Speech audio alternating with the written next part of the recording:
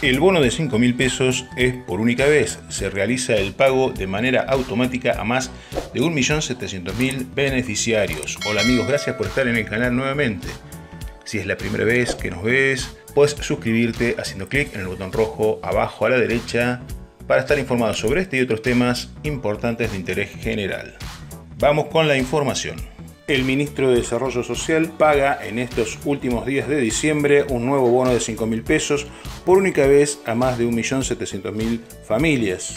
Se trata de un plus adicional en modo reconocimiento por la labor de los trabajadores de la economía popular en el marco de la pandemia. No tienen idea todo lo que han construido, todo lo que han dejado. Yo les agradezco, enfatizó el presidente Alberto Fernández al poner en marcha el cobro de la prestación junto con el ministro de Desarrollo Social, Daniel Arroyo.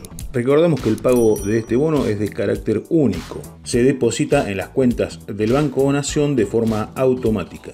El pago está destinado a trabajadores esenciales que desarrollan actividades vinculadas al cuidado sociocomunitario de todo el país perteneciente al plan Potenciar Trabajo.